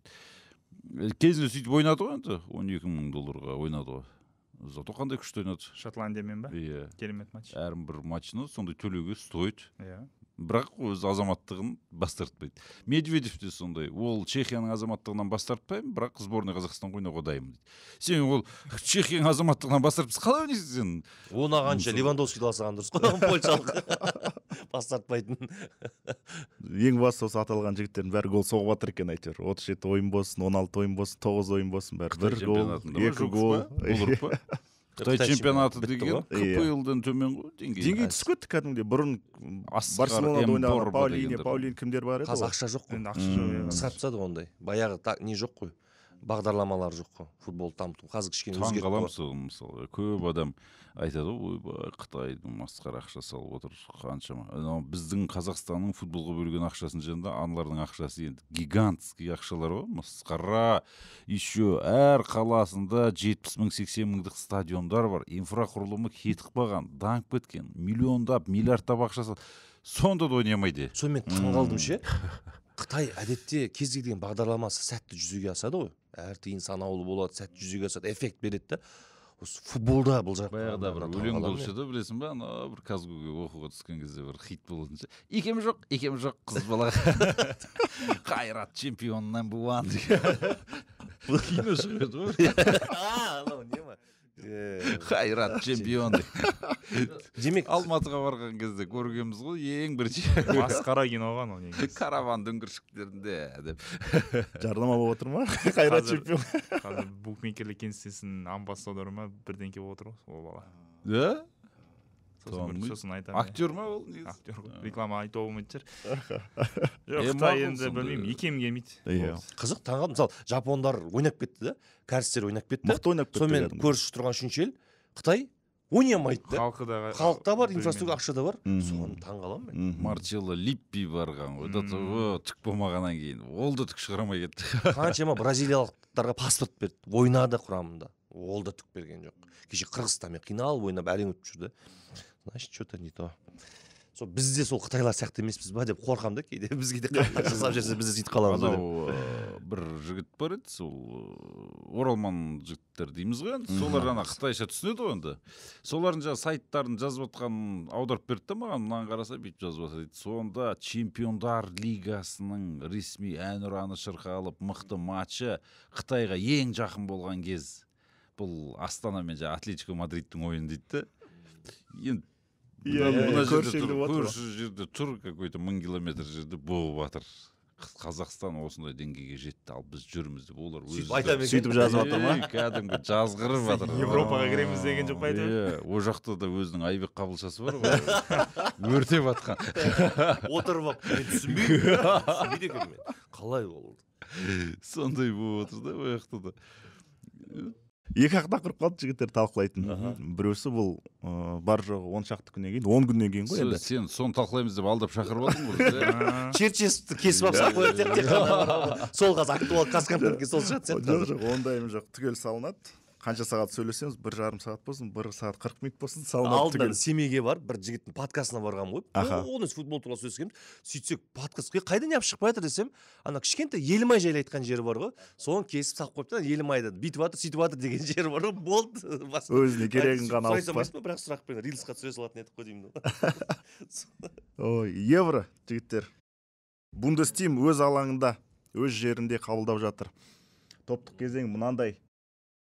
Қызық ана ә, екінші топ тұр ғой ана б тобы испания хорватия италия Албания. албания. Енді албанияға мына жерде үшінші орынға таласуға болады хорватиямен хорватия қазір сәл нашарлап қалған ғой ә, мгм. негізі. Ну на опыте алып өлім тобы ғой мынау таза? Ә, Олай жоқ мен енді сол ә, былай қарағанда сөйтіп ойлап тұрмыз ғой енді. Бірақ өлім тобы иә қазір италия страшно күшейіп алды. Мықты олар. Ә, өйткені олар Испания да әбден осы емес. опық жеген.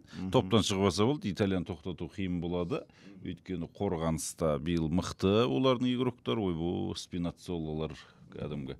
Действующий чемпион ғой испания мына топтың фавориті менің ойымша сол. Ана албания мен хорватияны бесте бір төртте бір қылады да олар. Ондайды жақсы көреді ғой. Сөйтеді да мына италия екеуі бірінші екінші орынмен шығу керек. Хорватия лука модричтер осымен карьерасын аяқтау керек осы жерде. Э, үздік шыққан қанша үшінші орында команда шығады негізі? Төртеу. Төртеу ма? Иә. Екі команда тікелей 16 шығады он екі соның төртеуі шығады ғой. М, ол жаңа иә. сол ермаш айтқан албания иә. шотландия жаңағы дания словения секілді командаларға мүмкіндік қой. Ана ф тобын қараңыздаршы. Түркия грузия португалия чехия. Біздің топ қой біздің топ қой. Қазақстан топ. қой иә. Түріктермен ойнаушы едік бірдеңке қылып келісіп үшінші орын алып енді анау португалия мен чехия бірінші екінші орын Иә. алады ол енді понятный нәрсе. Түркия мен джорджияда мүлде нөл ұпай очкода жоқ шанс та жоқ. Түркияда? Түркияда жоқ. Чехиямен қиналады деп ойлайсың ба? Иә. Чехия. Жүріп өтеді ғой ана спокойно. Адам глоужик дегендер патрик шик дегендер адам көрмей өтеді негізі чехия бірінші орын алуы да мүмкін. Португалияда в принципе қазір сәл қиындау енді бруно фернандешке байланысты. Ойнаса ойнады деген сосын мына жерде мен бір сенсация айтайын. Е тобында украина құрамасы тұр. Словакия румыния бельгия. Осы жерде украина құрамасы Бірінші орыннан ба? екінші орын алатын шығар деп отырмын. Мен бельгияға қазір кішкене ауыз бармай тұр енді. Бельгияны ұтып жібереді дегеннен шлый артық болып кетер. Ну в принципе ничего ойнауы да мүмкін. Украина бетон мына жерден шығып довбик малиновский. Еремчук иә бәрі мықты. Сондықтан украина құрамасы менің ойымша бұл осы еуропа чемпионатының ә, сенсациясы болады. Қара зорғасы ма? Иә полуфиналға шейін барып қалуы мүмкін. болмаса. Ширек финалда енді таза болады деп ойлаймын. Одан кейін мына группада поланд өте нашар. Мына топтан таза шықпайды лига наций Иә. нидерланд пен франция. Голландия франция масқара ғой иә ол түсінікті сосын ә, франция бұл еуропа чемпионатын жеңетін өзі үш команда осы Фаворит қой. соның біреуі. Иә аустрияда бар үшінші орынмен шығып кетуі мүмкін. Поланд төртінші орын алады. Ә, мынау нидерландс екінші орынмен шығады бірақ нидерландс та мықты қазір. Әжептәуір мықты. Но олардың әдеті сол ә, полуфиналға барып біреуден қадалып иә сондай әдеті бар. Болмайтын жерден пенальти сосын мына жерде ә, біздің сондай бір тағы да бір болмайтын жерден ұтылатын бір командамыз бар. Бұл энгланд командасы. Энгланд сербия денмарк словениямен кездеседі бұл жерде енді мынау англия Денмарк- фаворит бірінші орын ғой иә денмаркты көп адам екінші орын алады деп отыр. Таласып қалу ма? Мүмкін ба бірінші да орынға? деп- сербиямен таласып қалуы да мүмкін өйткені ана словенияда оңай емес словения денмаркты шаршатып жібереді өйткені олар бір топта болған словения ма словакия англияны ұтып кеткен шығармай қойған екеуі де ұтқан екеуі де ұтқан словения да ұтқан словакия да ұтқан так что ол англияны жалпы кім ұтпаған дейсің ғой? Бірақ бірақ англияның қауқары қандай? А, биыл мысалға Фил Фоден, сербия сербияда мысалға александр митровичтер англияны жазалап жіберуі мүмкін. Ол да оңай емес. Енді англия топта шығады ғой енді өлтіріл. Өйткені состав бар ресурс бар дегендей. М, бірақ енді гаррет саутгейт секілді өте нашар бапкер отырған кезде ұзаққа бармайды. Жартылай финал ғой енді максимум деп отырмыз. Болды ә, франция деп отырсың ба фаворит ермаш? Енді конечно енді франция түгел чемпионаттың фавориті номер франция ма? один. Ә, түгел чемпионаттың фавориті және скорее всего сол үй жеңеді деп отырмын өйткені басқа мен конкурент англияға сенемін. Білмеймін өйткені. Мен германия өз алаңында ойнаған иә. соң финалға дейін ең болмаса жететін сол шығар үш деп команда ғой жаңағы жиырма топ три деген. андай ә, настроймен немен барады ғой енді? Максимум ширек финал. Англияның уақыты келген сияқты емес па келді келді. Негізі Солай деп жатыр бәрі. былтырғы уэмблиде болған чемпионат тура осыны екі мың оныншы жылы талқылаған кезде осылай айтқанбыз лэмпорт пен джерард бар еді уақыты келді деп па? Алу керек олар деп. Ройс террилер прайм кезінде ма англияның нағыз? түк те жеңген жоқ далбасалап кеткен сол бір бірімен португалия ше, португалия мә португалия криш. Не істейді екен а? Соңғы чемпионаты ғой енді. енді заменде тұрады құдай қаласа. Отырмайды отырмайды. Үшін негізі отборда ойнады ғой. А онда криштиану ойнаса португалия құрамасында нан жоқ деген сөз ол да понятный нәрсе өйткені жасы отыз тоғызға келген бос қақпаға гол ұра алмай жүрген адам. Португалия құрамасының ойыншыларын да көруге болады қазір өзгеше осы жерде. қалай? Үстіне бассаң шыға жоқ ма? э, топтық кезеңде шығып приложение. сол плей-оффта шықпайтын секілді криштиану Криштиану да Иә, ол әлем португалияның құрамын жатқа білеміз ғой коридор ғой иә Иә, Жоқ, қарасаң мықты шабуылшы жоқ қой сол гонсало рамуш па псжда болды ғой гол соғатын португалияда жоқ құрама мықты ғой міне жоқ мықты мықты жоқ иә роналдо леау силва мына жақта бруно фернандеш ортада рубен невеш ол анау ә, манчестер ситиде ойнайтын бернардо сильва мен португалияда ойнайтын бернардо сильваны шатастырмаңдар. Ол екеуі екі түрлі адам.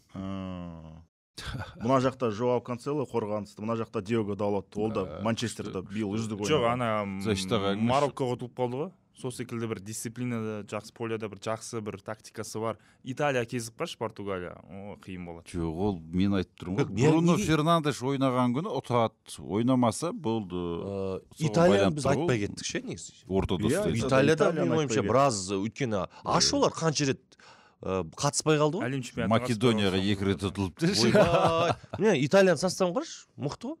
Дона рума жоқ бұларда қазір ә, жас футболисттер бар анау а, лука деген баланы алып жатыр ғой масқара қатты ойнайды ә, сосын ана кім ана гунонто ретугул пелигрини верати барелла. Қойып қойыпты ғой ретиги ойнамайтын шығар шықпайды ол иммобили Э, шығады осы құраммен олар іріктеуді ойнап шықты ғой сол. Лоренцо екеуі екі крайда. Бұл жерде екі крайда тағы жаңағы интердің екеуі бар ғой димарко мен Иә. иә иә иә. ә, кім еді анау? Ачерви дейді джумфрис голландия иә ол голландия. Ачерви дейді ачерви наша жоқ италия қай ойыншылармен ойнаса сосын ана футболы рикардо ғой. каляфьори деген бар. Болонияда ойнайтын защитник соны алды. Әрі деңгейлі кәдімгі дәу жігіт осыдан бір жыл бұрын ислам чесноковтың аяғынан теуіп қызыл қағаз алып кеткен базель тобыл арасындағы матчта. Биыл уже италияның сборныйында евроға барып жатыр вот ньюкаслда ойнайтын жігіт қалай еді? Жоқ италиялық? Қой ол жоқ Жоқ қой па ол? танымал деп жатсың Иә, ба ол дисквалификация ғой алып тастады сегіз айға кетіп қалған. Оны ана жаңағы анау құртты ғой ана ювентус ол да қойған ғой деп.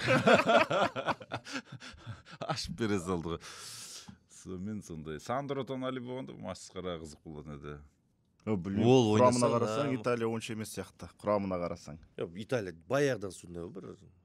Әйтеуір жүреді көш мықты басында жоқ қызықтың бәрі сол ғой. германияда жоқ қой мысалы? Кімді айтып отырсың сен неменеге фаворит деп отырсың германияда футбол ойнайтын адам жоқ қой ішінде? Мусиала дегендер. Кән вот сол жалғыз өзі мойындаймын иә гюндоган деген болды ғой уже бапкерлік карьерасын бастап жатқан анау тони кросс рудигерлер рудигерлер. болады анау вирц деген жаңа бір бала бар еді ғой. Иә иә иә. Верц ойнау керек соны иә? қосу керек. Гинтер рудигер. Иә.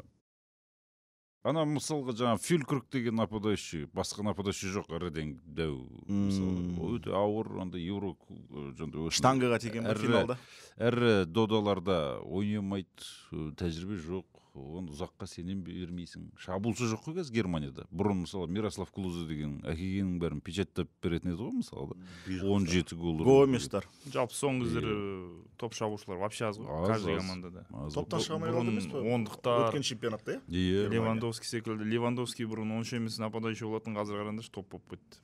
Сен қайта ана белгияның составын ашып қара Мгм. қазір? Мен саған айтайын. Вот сұрапыл жігіттер сол жақта куртуа жоқ. Негізі. Иә бұл жерде қазір доминика тедеско ғой деймін иә шамасы лукаку де брюйне тедеско тедеско. Иә. лука бакио доди луке бахи жаңа карасконың орнына кім шығады ғой э, ситилық доку. Иә ой Ол ой Доку бар, Доку, да? лукаку ең мықты не ғой де связка ғой брюйне лукаку люа опенда дегендер бар ғой Опенда, мынау масқара мыналар Жақсы составы. состав. Мықты екен, мықты, екен жоқ бұның сен замендегісін қарасай мынау әшейін? Мынау әшейін іріктеуді олардың заменінде мощный адамдар бар. Қазір бес замен жасау деген осы бельгияға арналған болды ғой өзі кімді шығаратынын білмейді ғой мысалға. Масқара кәдімгі. Тростар бар екен. Арсеналда ойнайды ма декетелары бар екен. Шарль Декетелар. декетелар масқара. Опенда салимакерс Э, сәлемак болды ғой енді ол пенсионер А. нашарлық болды. Доку. Жереми доку. Доку, иә жаңа айттық сол Сол доку дебрюйне лукаку ғой үшеуі жасайды бакаяко. Бакаяко в общем мықты міне жартылай финалда ойнайтын команданың біреуін анықтадық деймін сол европа чемпионатында просто жаңағы әлем чемпионатындағыдай емес қой. Әлем чемпионатында мысалға марокконы сен білдің ба мысалы Иә. бірде бір адам таныған жоқ барды полуфиналға шейін барды. Сол әлем чемпионатының қызығы сонда. Сен бәрің европаның командалары дайындалып келеді күшті бәрі бірін бірін біледі. Қалай кімнің состояниесі қандай екенін. Содан мына жер олардың күшті соған дайындаламыз дейді да сөйтіп дайындалады а марокко сен қай жерінен дайындаласың? Білмейсің да ғой сен. Өмірі көрмегенсің оның. Сенегалдар видеосын кассетасы да жоқ болуы мүмкін. Мысалы сөйтіп арасынан біреу шығады эльхаджи деген алда алда шок қылады. Да. Ыстығында Ә, ойнайсың да түсте ше нұрс иә. биылғы еврода сондай команда кім болуы мүмкін сенің ойыңша? Жартылай сөйтіп гватемаладан бір судья келіп шірітіп ата ма? Он Иә. екі минут қосып бүйтіп исландия венгрия секілді команда жоқ қара жорға мен таза мына шотландияны а группасынан көріп тұрмын. Білмеймін неге екенін Жоқ, мактоминалар а? Иә иә мықты мен мен бұл әлем ә, бұл европада украинаға жанкүйер боламын. Мхм. Грузия португалия украина.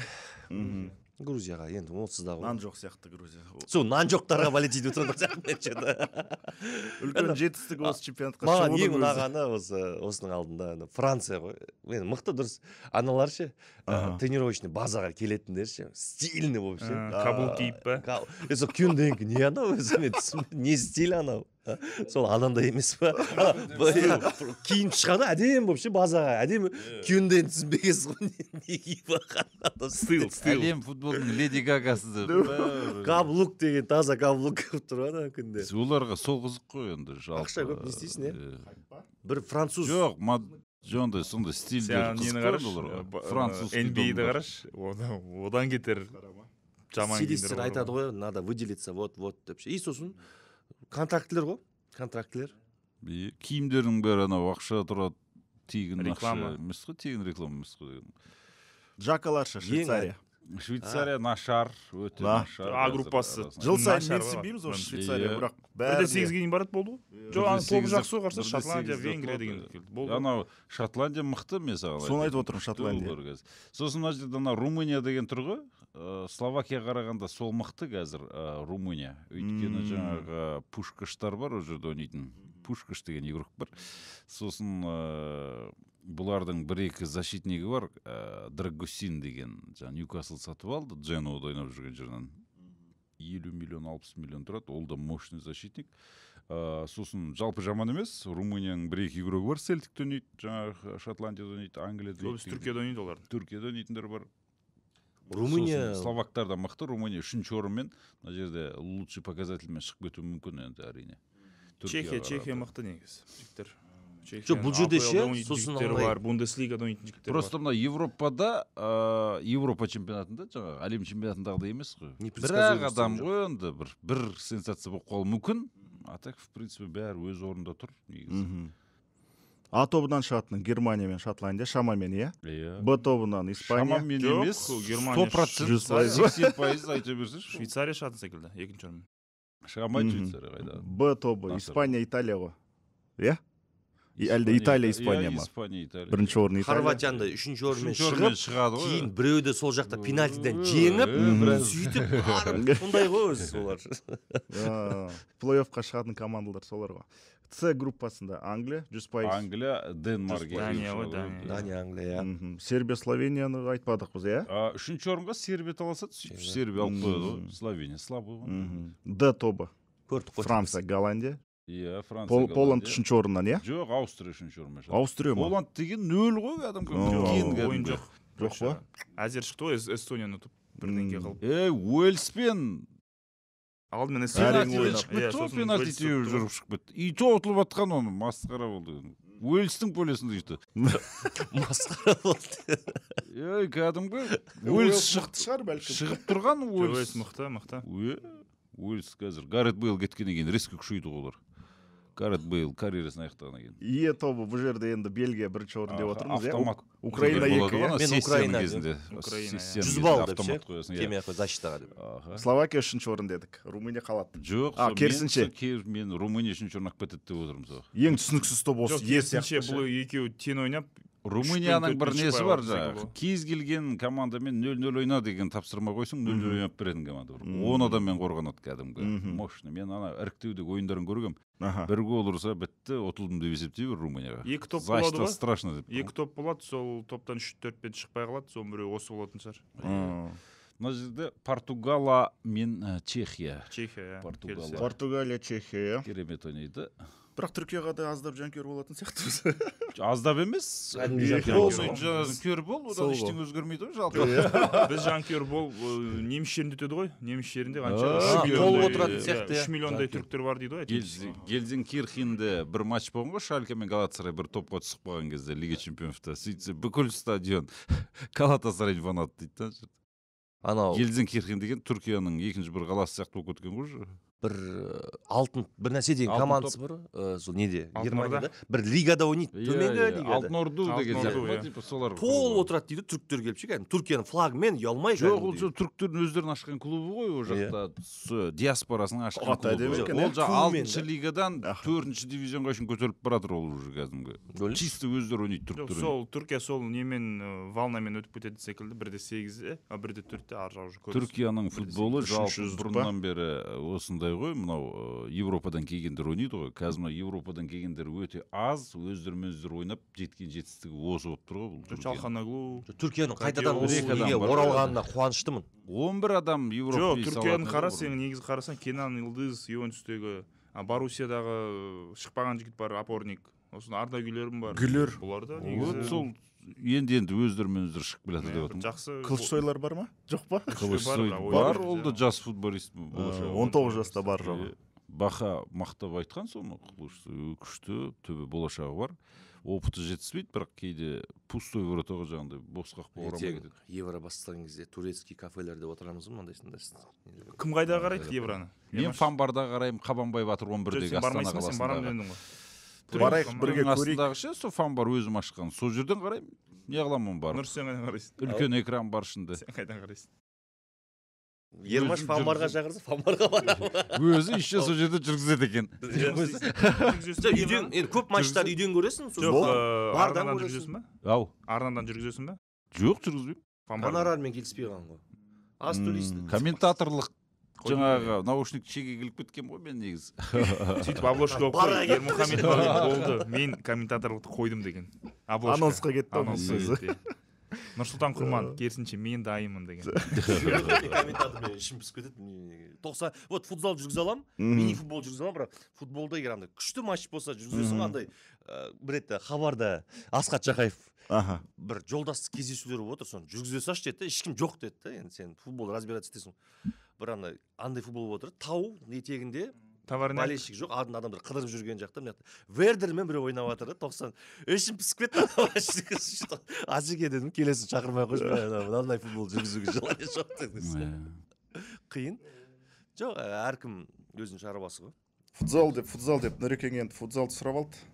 Мына әлем чемпионаты 2024 өзбекстанда өтеді 14 қыркүйек басталады. 6 қазанға дейін. Ә, әлем чемпионаты өте қызық. Өйткені бізге жақын елде өтеді. Өзбекстан көрші елде. Бірақ біздің иә ташкент әндіжан бұхара. Үш қалада өтеді. Ә, ташкенттің хума аренаны білесіздер. 12 жарымдық. Әндіжан өте керемет. Керемет спорт кешені саған. Футзалға арнап ертең ол жақта басқа да спорт түрлері болады. Жоқ және ішінде волейболды өткізе бересің. Қазақстандықтар барып тұр ғой шамамен бұл әлем Ә, чемпионаты Ташкенттен- тофырлап барады ғой қаншама ташкенттен 350 километр. Біздің қазақстанның екі ойыны 15 және 18 әндіжанда өтеді. Мхм. Ә, 350 километр ә, неден? Ташкенттен ташкенттен ма Иә. алыс екен ғой масқара көлікпен баруға болады үш жүз елу шақырым ба иә 350 шақырым жол в принципе нормальный дейді 5 сағатта жетесің дейді да значит ол ненормальный деген сөз ғой негізі дайындалып бару керек әндіжанда сосын екеуін біз испания мен жаңа зеландияға қарсы осы неде ойнаймыз Мгм. ә, андижанда ал үшінші ойынымызды біз қазақстан ә, ливияға қарсы ташкентте ойнаймыз Мгм. хумо аренада. Сондықтан қазақ жанкүйерлер осы бастан билет қай жерден алуға болады соған бара салайық та ливияға ташкентке. Испанияға емес. Па бұл чемпионат европа ұқсайды екен несі сеткісі? Групповой испаниядан ұтыламыз ана екеуін жеңеміз сөйтіп екінші орынмен шығамыз жоқ егер иә екінші орын жоқ бұл жер үлкен мәселе. Өйткені бұл жерде әлем чемпионаты бүкіл елдерге мынаның несі? Ыңғайсыз ә, өтетін уақыты өйткені футзал июльда отпускке шығады. Испания чемпионаты да қазақстан бәрі шығады. И бұлар августте жиналады августте испанияда қазақстанда сбор өтеді. Бір деңгейде болып қалады бір иә? деңгейде болып қалады. Түсініп отырсың ба? Сол ыңғайсыз. Егер де бұл қыста өтсе онда испан чемпионаты қазақстан чемпионаты бабында болған кезде мүлдем басқаша ойын болады. Ал бразилияда қашан бітеді екен? Басылым. Ол жиырма төрт жыл өте береді ғой әртүрлі. Кубок бір нәрсе кубок бір нәрсе деп. Сосын испанияның ә, мен қазақстанның бірінші тур. Бізде стандарттарымыз оларға көрсетпейміз олар да стандарттарын көрсетпейді. Біз алдына екі үш ойын ойнап тастасақ екі ойын. Үшінші ойын болса біз дайын тұрады ғой иә. Бізде оларда непредсказуем болып келеміз. Және екіншіден біздің қазақстан жеңіске жетеді деген сенетіні әндіжанда ол жаққа испандықтар көп келмейді жанкүйер болып. Қазақтар толтырады деп ойлаймын аренаны. Қазақтар толтырады сағаттық белдеу бірдей қатты разница жоқ. Ыыы аура біздікі деп ойлаймын. Сондықтан өзбектер де келсе бізге жанкүйер болады ғой. бізге жанкүйер болады. Қазақстан толып отырады. Бірақ әлі билеттер несі шыққан жоқ. Қай жерде сатылады қалай аккредитация беріліп жатқан жоқ. Тек телетрансляцияның несі беріліп қойды казспорт Мгм. көрсететін. Ал былай ештеңе жоқ. Сосын ыыы анау группадан кім шығады дейсің ғой? Аргентина Біз украина. ше? афганистан дей ма? Бірге ол ауғанстан ирандықтар ойнайды ол жақта. Ирандағы ауғандар бар ғой. Ол енді иранда қатты дамып кеткен ол футзал. Иә ғой. Биыл ауғанстан алады да ирандықтар шақырып алады ғой. Мәссаған. паспорттарын беріп аха. сөйтіп ойлайсың ауғанстанда спорт комплексте футзал чемпионат өтеді деп ойламайсың ғой. Сөйтіп бұлар чемпионат азияға қатысады ғой. Сөйтіп чемпионат азияда ә, не төрт төрттік алу керек қой. Аха. төрт команда өтеді. Өзбекстан бесінші олар қатыспай ақ өтеді. Сөйтіп қырғызстанмен ойнайды ғой. Қырғызстанды ұтып жібереді ғой ойлашы. Ауғанстан қырғызстанды ұтып жібереді сол күні мен бішкекке барамын ғой бір суперболмен сөйтсем кімдер ауғанстан қырғызстанды ұтып береді деп сенсация қылып айтпасын жеңсе қырғызстан ойлашы қанша жыл ана әміржан мұхановты шақырып әміржан мұхановты Мм, шақырып ақша құйып чемпионатын дамытып біз әлем чемпионатына барамыз дегенде ауғанстан шығады деп ойлаған жоқ қой. Жоқ жерден шығып кетті. Жоқ жерден ала салды да ир- ирандықтар. Иранда футзал мықты. Келді да қырғызстанды наказать етіп жіберді. Енді қырғызстан басын ұстап отыр әміржан мұханов жұмыстан босатты. Рахмет братан сен ауғанстаннан өте алмадың. Деп өз елдерінде айтып жатыр позор деп. Ауғанстаннан жеңілді. Мен ауғанстан міне сенсация ертең бұлар әлі алысқа барады. Мыналар мықты ауған сенің фаворитің кім бұл? Чемпионат ә, Бразилия. бразилия. Өйткені бразилияда ә, барлығы бабында бұлар амалажайне өтіп кетті. Бір әлем чемпионатын жіберіп алды да. Ал испанияда керісінше баяғы төрттік жоқ. Қазір жастар. шашы ақ кісі бар еді ғой. Кетіп қалған бәрі кетіп қалған лазан бәрі ешкім жоқ. Бір екеуін ғана дайын мен. Бізге осы топтан ермаш мынаған түсеміз ғой біз аргентинаға иә? Жоқ португалия марокко тәжікстан панамаға түсеміз. Егер біз бірмен шықсақ онда біз анау өзбекстан парагвай коста рикада үшпен шығамыз егер сол жақтан біреу шықса да үшінші орынмен. екімен шықсақ онда үш вариант десе короче иә екімен шықсақ португалия мен марокконы екеуін біреумен шығамыз ғой. Португалия болып тұр ғой. Ойлайсыз біз португалиядан құтыла алмайын деп тұрмыз. Ал марокко чемпион африки. Қазір дамып кеткен. Олар бізден рейтингтен асып жатыр. Және мароккоға ә, португалиямен көрші ғой олар теңіз эффект қатты берді. Өйткені марокко бір бес жылдық бағдарламасын алған футбол және футзалды дамытуға арналған португалиядан. Сөйтіп дамып кетті Әдемі. әдемі? қойған и футболы қандай қазір? Мароккодан дамып кетті. И футзалын қарашы әлем чемпионаты. Легионер бар ма бұл жақта? Жоқ чисто. Бұлар керісінше өздері сыймай легионерлерін голландияға беріп жатыр ғой голландияда сияқты тұрады ғой олар. Жоқ қарасаң негізі ливия қарашы ә, таиланд африка тәжікстан деген гватемала секілді елдер қызығы әлем чемпионатына көрінеді. гватемалада Ангола. жоқ бұл жерде қараңыздар франция жыл өткен сайын прогресс жасап жатыр. Бұрын францияның футзалы жоқ еді қазір дамып кетті әлем чемпионатын жолдама алды. Мықты дамып жатыр ден қойып жатыр. Ертең түптің түбінде франция бұл футзалда да бір фавориттердің бірі болады. Ә, бұл жерде аргентина бразилия ә, мықты. Франция жоқ қой ішінде? Бар бар. тұр. F тобындағы екінші команда тұр ғой. Бірақ тек қана қара жігіттер ойнайды деу деу ә, сосын ә, мына не- нені қараңыздар? Нидерланд тұр ғой а Иә, тобындағы. иә. Бұлар біздің қазақстанмен бір топта болды ғой. Иә. Төртінші орын алған негізі. Мгм. сөйтіп бұлар алады да әзербайжан мен румыния болды біздің топта.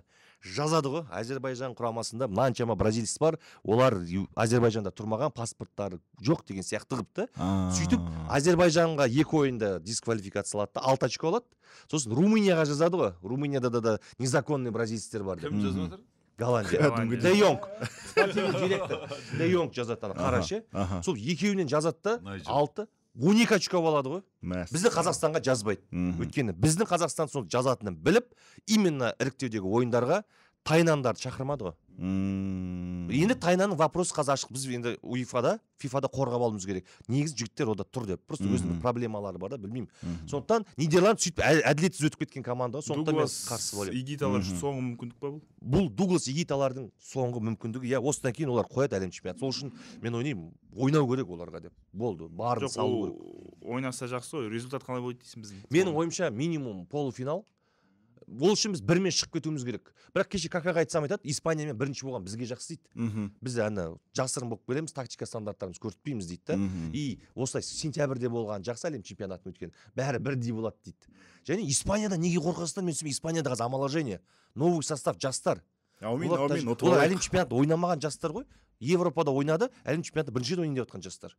А новая зеландия полулюбительский команда австралия азия кеткесін мыналардың күні туды да ливия енді ол чисто физический команда. Құра былай немен ойнамайды. Тактический футзалдағыдай стандарт жоқ. Диагональ дегенді білмеуім мүмкін. ішінде технариялар жоқ қой. Иә жоқ. Мгм. А, мен бұл жерде бразилияны фаворит санаймын. Біздің қазақстаннан үміт күтемін. Кемі жартылай финал деп. Ә, иран баяғыдағыдай емес. Азияның командалары бәрі әлсіз. Ертең кубок азияды көрдік бәрі әлсіз. Че то регресс. Португалия фаворит шығар. Жоқ португалия фаворит емес деп ойлаймын жыл сайын мықты еді ғой. Жыл сайын. Мен биыл португалияға қиын болады. Португалия ертең аргентина слабый мысалы кеше квадмиболда көрдік. Өте әлсіз. Ә, таиланд әлсіз. Ә, мына жерде мен сізге айтайын өзбекстанды сүйреуі мүмкін бір де төртке дейін. Фол беріп беріп. Да мысалы. Өз алаңында өтеді. Өзбекстан жақсы ойнайды. Және қызық айтайын ба өзбекстанда бір қызық. Мысалы бізде қазір чемпионат болып жатыр ғой. Айта отыршы кәнекей. ішкі чемпионат былай өтеді да. Үй барасың ойнайсың үйде кәдімгі әр тур ғой. Ал өзбекстанда сегіз команда бар олар екі айда бір жерге жиналады да. Кустовой методпен өткізе салады да түсініп отырсың ба? Кубок сияқты Иә. баяғыдағыдай. Сегіз ақ и қазір олар чемпионат бітіп қалған жоқ. Бұлар қайтып жүр. Ұлттық құрама деп бір команданы алып алған соларды айлыққа отырғызып қойған. Түсініп айлыққа отырғызып хумо деген сияқты. Товарищеский матчтар ма? Тек товарищеский матч сбор. Қанша ай болды? Чемпионат мираға дейін олар бес ай сбор өтеді да ойлашы. Біздің таразға да сөйтіп келіп кетті ғой сборға. Сондықтан олар айлық алады игроктары болды. Клубта ойнамайды да. Қызық. Сол әлем және әлем чемпионатын мен бір қуанамын өзбекстанда болғаны бір өкінемін. Неге бізде өтпеді деп. Ол сұрақты бұрынғы ә, қазақстан футбол федерациясы басшыларына қою керек қой. екі рет қойыңыздаршы бір рет емес екі рет қойыңыздар. Сол кезде олар сіздерге жауап береді деп ойлаймын. Ал жалпы енді біз не істейміз? Енді орта азияда өтіп кетті ғой. Біздің әлем чемпионатын енді өткізу мүмкіндігіміз қиын. Иә. Енді бізге евро өткізу керек. Бұйыртса екі мың жиырма алтыншы жылға қазақстанда өтінішті беріп жатыр ма? ю он тоғызға а ю он тоғызға. Жаман емес. беріп қойдық беріп қойдық. емес. Енді содан бір евроны көрсетіп алу керек жекпе жек сарайында. Артынша үлкен евроны алып одан кейін әлем чемпионатына қайтып аяқ беру керек. Баяғыда өздері келетін бізге. Енді біз өзіміз беретін болды сондай дәрежеміз. Өзбекстан а тобында бірінші орыннан шығады ғой мына жерде иә голландия слабый. Иә. А коста рика онсыз да білесіздер әлсіз. Парагвай екінші орын иә? сияқты. Парагвай екі Мгм. парагвай бразилия бірінші орын. Бразилия бір ә, хорватия екі. Таиланд пен куба таиланд үш куба төрт. Мына жақта аргентина бір. Вот осы жерде вопрос болады украина немесе ауғанстан? Ә, менің ойымша украина шығады. Ауғанстан үшінші орынмен шығуы мүмкін. Өйткені тәжірибесі жоқ бірақ иранецтар ойнайды. Мына жақта қазақстан испания немесе испания қазақстан бір екі. Мына жақта португалия марокко понятно. Тәжікстан стабильный емес бірақ ойда жоқта марокконы ұтып кетуі мүмкін ойыншылары бар олардың. Ә, мына жақта иран мен франция шығады. Мықтыларды таңдап өтсек бұл испания португалия мен Аргентина, Бразилия ғой. мұсылман ел ғой. альхамдулилля сондай қазақстанға жанкүйер емес иран мен өйткені ауғанстанға ол жақта. Кака бапкер ол черчесов керек еді десе. Ә, сондайлар бар ғой бізде фейсбукта оқып қаласың ғой Бар, бар, иранға жанкүйермін Э, е анау кім ойнайды ғой? Хусейн таиби деген. Тайби ойнайды иә. Та- бірақ әлі ойнай ма сол? Әлі бар ғой ол пальмада ойнап жүр ғой кәдімгі масқара испания мықты игрок сол иә дадаш. Сосын ә, иранның ұлттық құрамасында қазақ бір бала ойнап еді баяғыда қазір жоқ жоқ па футзалда жоқ даниял деген бір қазақ болды онда жанкүйер емеспін десеңші жоқ қазір иранда тоже отписка ә, бұлар ә, бұлар бір қызға жастар ә, әлем чемпионатын алды омоложение жасап жатыр иран біздің қазақстан әлем чемпионатын өткізіп алғаннан кейін келесі евроның циклы басталды сол кезде омоложение жасай жасағысы келіп жатыр да а бұлар әлем чемпионатын жертваға жатыр ма иранда да жастар кеше азия кубогын ойнады әрең әрең жеңіп алды негізі азия кубогын баяғыда оп оңай жеңетін қазір әрең жеңеді. Япония шыға алмай қалды ғой. Жапония жоқ прикинь жолдамадан айырылып қалды. А ана бір бір қазақ бала ойнайтын еді ғой жапонияда? Ол жерде ше қазақ бала бразилиядағы туып өскен ше бір. А иә ол шираиши шираиши ол бразилец қой иә бір әкесі японец. Түрі қазақ па бір иә жоқ мен де таңқаламын анау қазақстанға келгісі келді ол қайратқа ше. Шираиши ғой. Барселонада ойнайтын.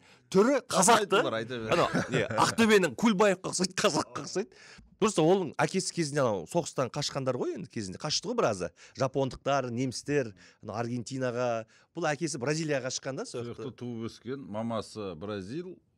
Әкесі жапон содан қазақ болып туған ғой. Түрі қазақ анау кәдімгі атын димаш деп қойсаң кәдімгі.